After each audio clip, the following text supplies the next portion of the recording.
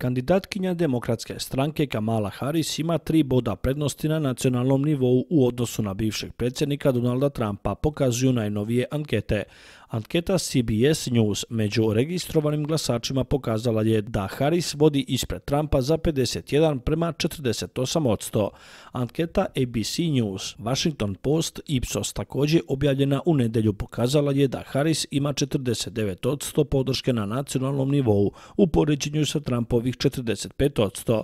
Međutim, i Trump i Harris su dobili skoru identičnu podršku od 50 odsto u svim državama Arizoni, Georgiji i Michiganu, Severnoj Karolini, Nevadi, Pensilvaniji i Viskonsinu, pokazala je anketa. Otkako je zamenila predsjednika Bajdena na listi demokrata, Harris je brzo pokrenula energiju i presekla vojstvo koje je Trump držao u predsjedničkoj trci mesecima. Trump je umeđu vremenu zadržao prednost u novoj anketi kada su u pitanju određene sfere politike.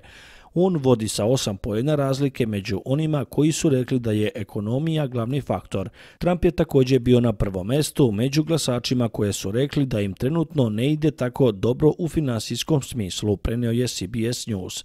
Istraživanja CBS News sprovedeno je među 3258 registrovanih glasača širom zemlje od 14. do 16. augusta.